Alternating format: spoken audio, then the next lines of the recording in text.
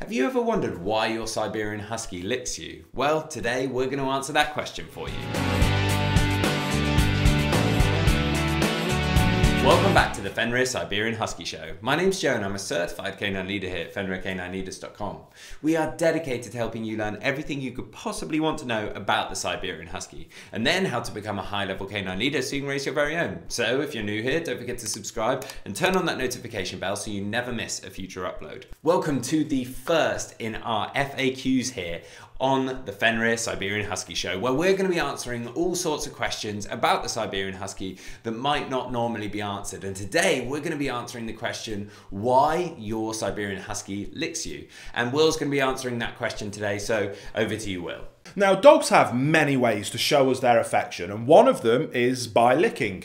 Some dogs hardly ever lick their owners or anyone else, but others can be quite excessive in their display of kisses to everyone they meet. And in today's video, we will discuss why your dog licks you. And the first reason is that canine kisses are signs of affection. Most dogs absolutely love to lick their owners. It is their way of showing their affection. After all, dogs do not have hands or arms that they can hug or pet you as effectively as you can hug and pet them, even though some dogs do try to do so. Think about it this way you have many things going on in your life your job, your hobbies, your family, your friends, and so forth. But your dog does not have all of those things. To them, you are everything. You provide them with food, water, shelter, affection, leadership, guidance, and direction. Therefore, it is only natural for them to show you their fondness. And if you have more than one dog at home, you probably have seen them licking each other quite a bit as well. Again, this is completely natural.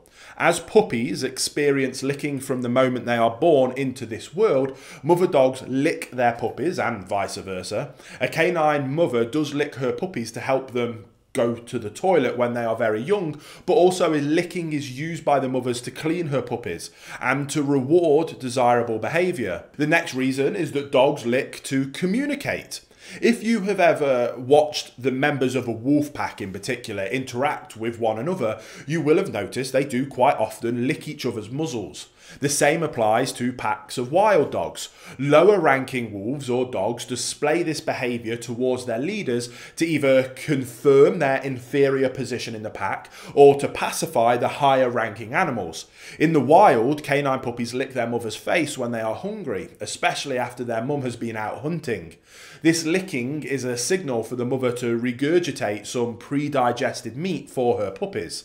Now, in similar ways, our domesticated dogs aim for licking our face. By the way, this is one of the main reasons dogs jump up on people. They want to reach our face, but as we are much taller than them, they have to make a severe effort of jumping up to get there.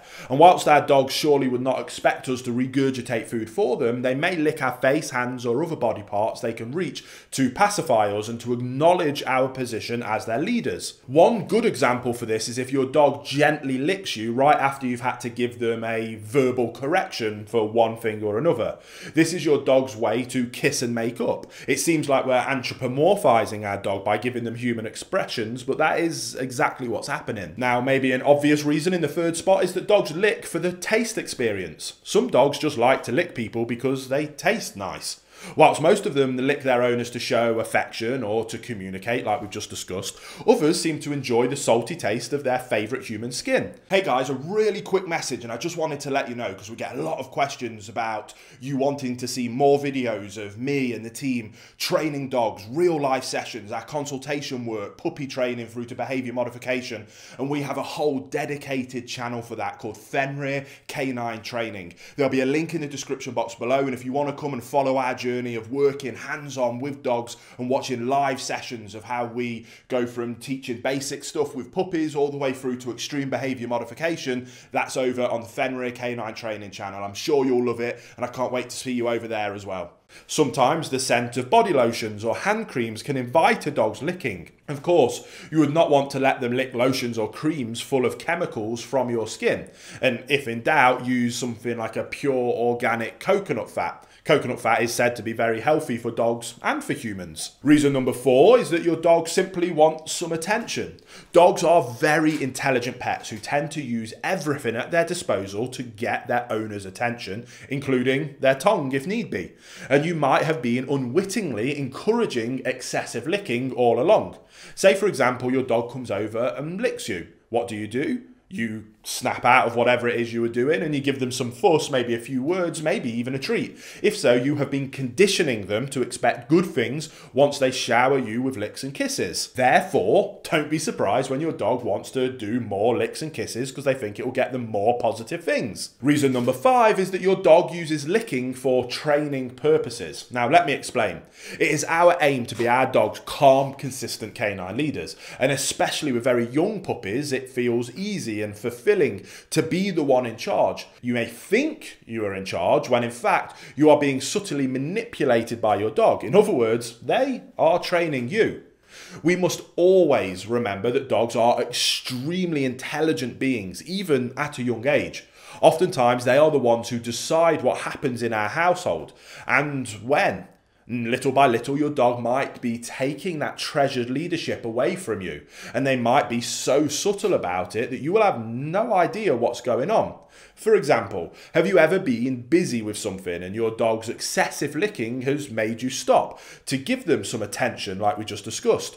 Maybe this happens in the morning. Many people allow their dogs to sleep in their bedroom and sometimes even on the bed with them. And in the morning, they wake to sweet little kisses being placed on their face by their dog.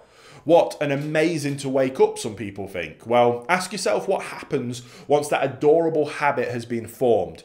All too often, owners at least give the dog some fuss. In the best of examples, that subtly conditioned owner will get up after a few licks to avoid having their face covered with extensive slobbery kisses. Usually, it takes dogs only a few training sessions to have their owners at that point, where the dog has you trained of when they want you to get up and out of bed. And to do so, all they have to do is give you kisses. So that kind of wraps up our discussion of why your dog likes to lick you. We saw how licking is a behaviour that has its firm place in nature, especially among packs of wolves and wild dogs. But contrary to wild canines, our domesticated dogs have also learnt to use licking as a training tool for their humans quite often motivating us to give them attention and fuss by giving us licks and kisses. So, as always, this was a fun video, a bit of education and information about canine psychology and communication, but also take it as a, a subtle warning of making sure that you are always in control of the interaction with your dog and your dog isn't in control of you.